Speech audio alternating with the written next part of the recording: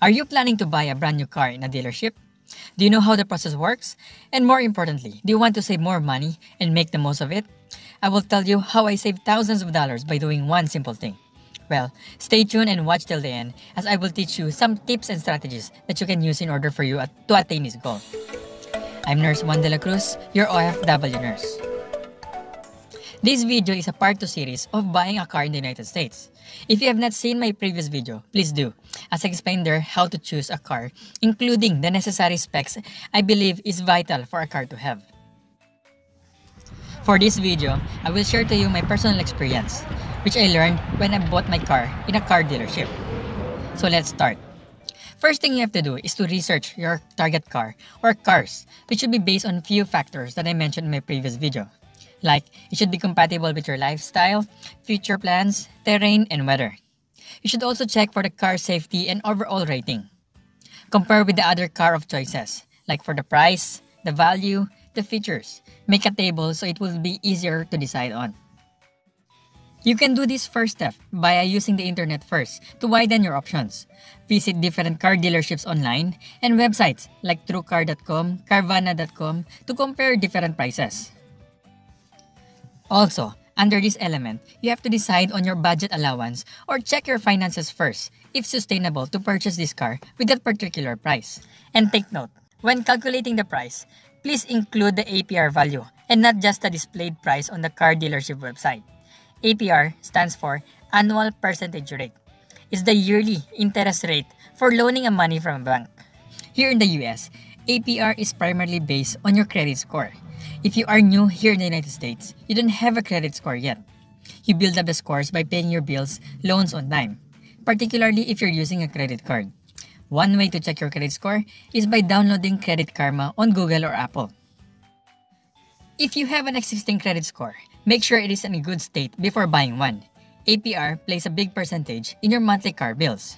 Without a credit score, I was offered 7.9% APR for 72 months contract for a specific vehicle.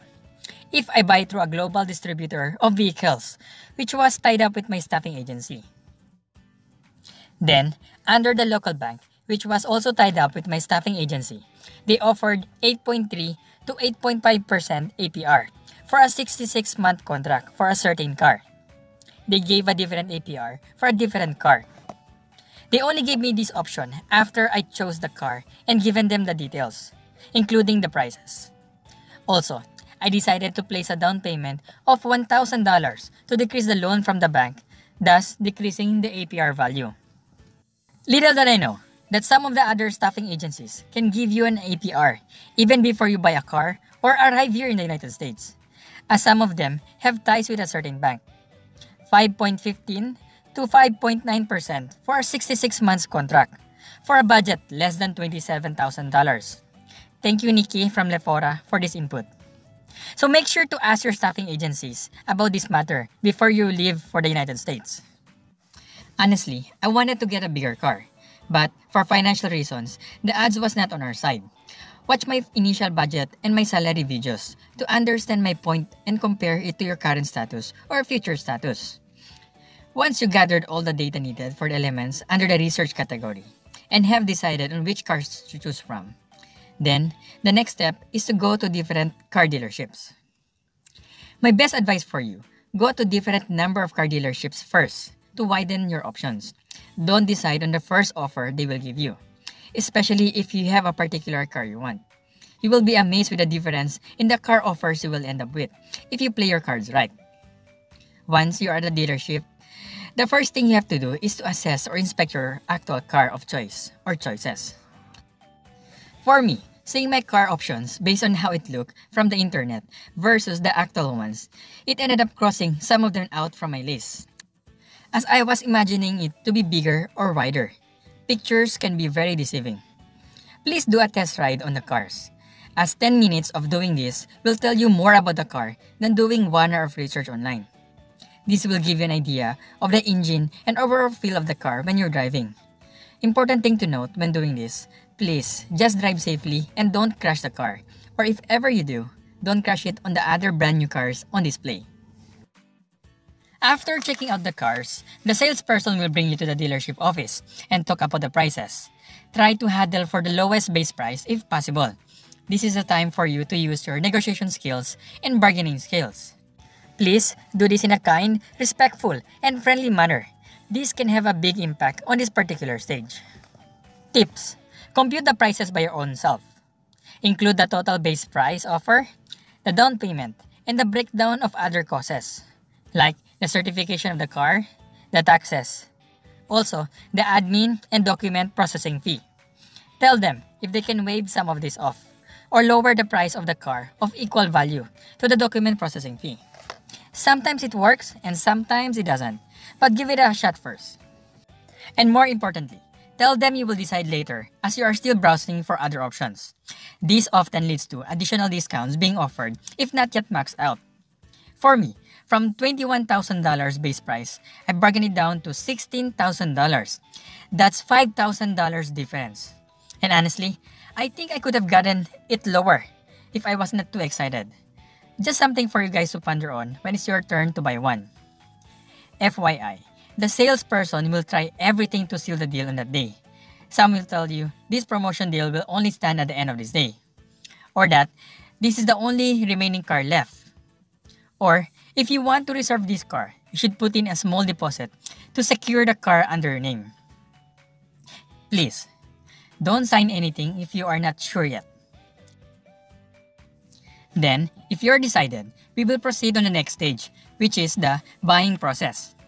After signing some of the documents needed for the initial process of securing the car, the car dealership will coordinate with your bank of choice. This will take few hours to few days, as long as you have all the documents ready. In my case, the bank had to wait for my social security number to arrive before proceeding. So, from the time I signed the initial paperwork at a car dealership, I had to wait for one week before I got the car. For the requirements needed for the bank and the car dealerships are the following. Number 1, social security number. Number 2, employment contract. Number 3, proof of address. Number 4, driver's license, not necessarily a US driver's license. Number 5, car insurance. And yes, they require you to have a car insurance in order for them to complete the filing of the documents. You will need your details of the car, including the VIN number, home address, as well as the details of your driver's license. You can visit the car insurance websites like Geico, Root, Progressive, State Farm, and a lot more. Then just get a quote for each of the vehicle by keying all those data. If you're having a hard time understanding or applying for the car insurance, I will be making a video soon of it, as it is a stressful thing to decide on on something you have not encountered before. Also, some of the prices of the car insurance differs depending on the models and specs, particularly if they have a known mechanical issues, meaning that particular vehicle might have a higher insurance monthly cost.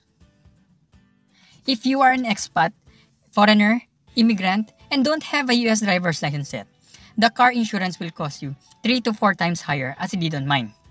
For me, I had to pay $370 for one and a half month. Then, after I had taken my DMV test and license, I applied to a different car insurance, which dropped down to $130, including the apartment renter's fee. I will explain more in my next video, including the DMV written and driving test, with the do's and don'ts to help you prepare ahead. So please subscribe. After all the paperwork from the bank was ready, settled, and signed, we went back to the car dealership to finally get the car. In their office, they offered me if I wanted to have an extended car warranty, as that car had the standard 36,000 miles or 3 years, whichever comes first, meaning after the 36,000 miles by driving or after 3 years from this date, the car will not be covered under the warranty anymore. At that time, I have no extra money, so I declined, and told them I will decide later on. Also, some dealership will offer you different add-ons that would sound very affordable. But usually, this price is offered as a monthly basis, so please compute it annually to see if it's really worth the price. After that, they gave me the paperwork and the keys to my car. I drove home at the speed of the turtle worried that I will crash the car on the first day. FYI, it was my first time to drive in the US soil and on an automatic car. I did not even know that automatic cars will run even without stepping on the gas. It is an unforgettable moment and very memorable experience for me. Adding that I told the salesperson that something was wrong with my car. Lol. Additional tips. I chose the car dealership because the base price was cheaper as compared to my first option, even though the APR was lower.